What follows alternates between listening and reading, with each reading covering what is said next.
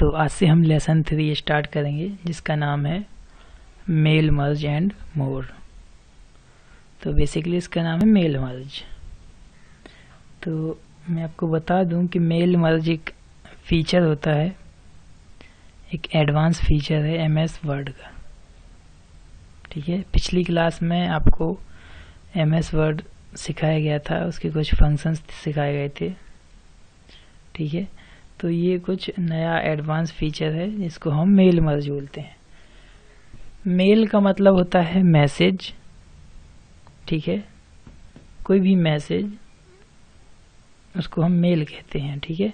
और मर्ज का मतलब होता है किन्हीं दो चीज़ों को आपस में मर्ज करना, जोड़ देना, ठीक है?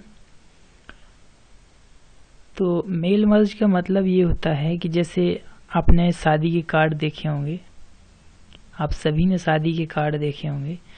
तो उसके ऊपर जो एनवलप होता है, वहाँ पे नाम लिखा जाता है। जिस पर्सन को देना होता है कार्ड, उसका नाम लिखा जाता है। ठीक है? तो कार्ड एक ही टाइप का होता है, आपने देखा होगा। एक ही कार्ड होगा। एक ही तरह के कई कार्ड होंगे। ठीक है? उस पर सबके अलग अलग नाम हमें लिखने पड़ते हैं पेन से। ठीक है? तो इस काम को कंप्यूटर से करने के लिए जो हम फीचर का यूज़ करते हैं, वही है मेल मर्ज। ठीक है?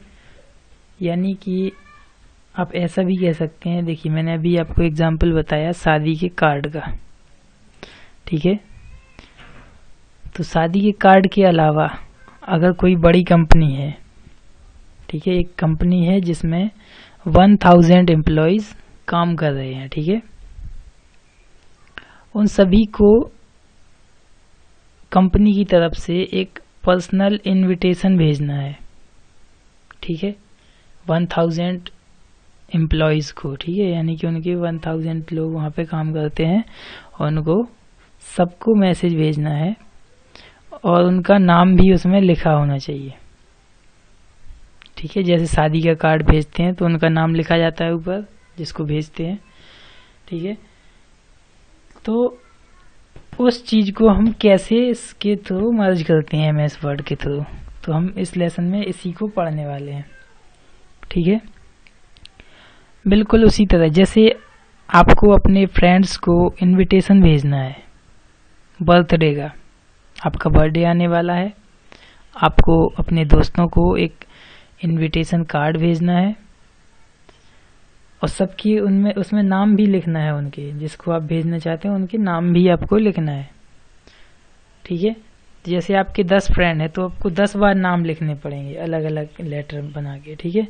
तो उसमें आपका टाइम वेस्ट होगा। तो मेल मर्ज फीचर से हम टाइम भी सेविंग कर सकते हैं। और एक, इसमें करना क्या होता है कि एक तो हम लेटर लिखते हैं, जो सबके लिए सेम होगा। ठीक है, जैसे शादी का कार्ड होता है आपका, उसके भीतर जो होता है कार्ड वो सबके लिए सेम होता है, लेकिन इनवलप जो ऊपर वाला होता है, वो डिफरेंट होता है, क्योंकि सबके उसमें नाम डले होते हैं। तो बिल्कुल उसी तरह कंटेंट वैसा ही रहेगा जो आपने लिखा है, जो आपने सबको भेजना है। लेकिन उनके नेम बस अलग होंगे, हर एक लेटर में नेम अलग होगा। ठीक है? तो इसी को मेल मर्ज बोलते हैं। तो जब इसका प्रैक्टिकल किया जाएगा, तब आप समझ सकते हैं। तो इसके मेन कंपोनेंट्स होते हैं। एक तो होता है मेन डॉक्यूमेंट जो हमें सबको भेजना है, जो मैसेज उसके बाद होता है डाटा सोर्स डाटा सोर्स बच्चों, ये होता है कि जो लिस्ट है आपके फ्रेंड्स की, या जिन लोगों को आपको भेजना है, उनकी उनकी जो डिटेल है, उसको हम बोलते हैं डाटा सोर्स और पहला बताया मैंने मेन डॉक्यूमेंट यानी कि जो आपको मैसेज भेजना है, जिन लोगों को भेजना है।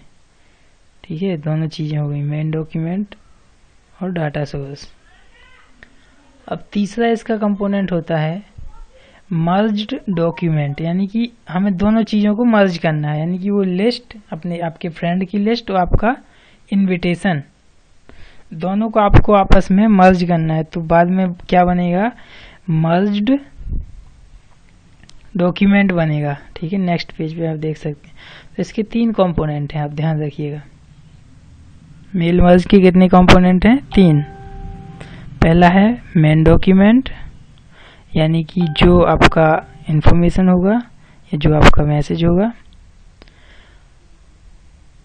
और दूसरा है डाटा सोर्स यानी कि आपकी लिस्ट जैसे आप अगर शादी के कार्ड सबको भेजना चाहते हैं ऑनलाइन या प्रिंट करना चाहते हैं तो उसमें आपके रिश्तेदारों की लिस्ट होगी रिलेटिव्स की, और अगर फ्रेंड्स को भेजना चाहते हैं तो फ्रेंड्स की लिस्ट होगी। ठीक है स्टूडेंट तो तीन होते हैं आपको, इनको रट लेना है। तीन चीज़ें हैं मेल मर्ज में main document data source and merge document यानी कि जो मर्ज हो चुका है।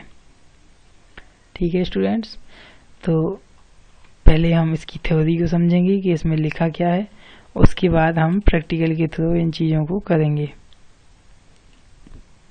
ठीक है? तो चलिए स्टार्ट करते हैं हम। Mail merge. तो इसमें जो लिखा है, उससे आपको बहुत ही ज़्यादा क्लियर होगा, क्योंकि बहुत ही इजी लैंग्वेज में लिखा हुआ है।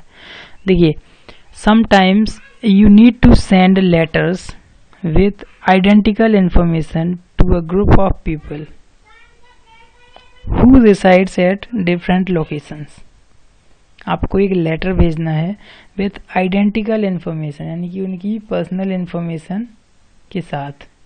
ठीक है? जो लोग अलग अलग जगह पर रहते हैं who reside at different locations जैसे आपके रिलेटिव्स ठीक है?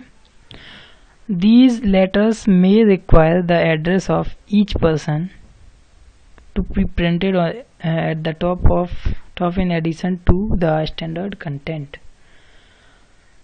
तो इसमें कहा गया है कि इन लेटर्स पे, यानी कि जो लेटर आप उनको भेजना चाहते हैं, इन लेटर्स पे उनका एड्रेस प्रिंट होना चाहिए। एड्रेस या नेम या जो भी है, उनका सबका अलग अलग एड्रेस का प्रिंट होना चाहिए एट द टॉप ठीक है? सबका एड्रेस अलग अलग प्रिंट होना चाहिए, ठीक है? और लेटर एक जैसा होना चाहिए। लेटर की जो कंटेंट है वो सही होना चाहिए, लेकिन उनके एड्रेस सबके अलग अलग ठीक है? Such document can be easily created using the mail merge feature of M S Word M S Word के मेल मर्ज फीचर से हम ये कर सकते हैं। Mail merge is a feature that allow you to create a large number of documents by merging the main document. अगर आपको हज़ार लोगों को मैसेज भेजना है, उनके एड्रेस लिखने हैं तो ये बहुत ही कम समय में आप कर सकते हैं, ठीक है?